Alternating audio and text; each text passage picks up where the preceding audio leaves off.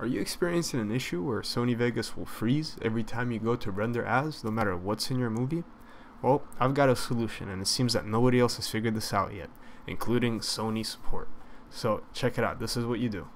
Firstly, exit out of Vegas or any Sony programs you may have running, then head to the C drive or whatever drive you have Windows installed on, and then open up the program data folder. If you don't see this folder, just type it in the address bar or head to Options, View, uh, Show Hidden Folders, Files, and Drives and that'll allow you to see this grayed out folder. So once you open it up, head down to Sony and delete this folder.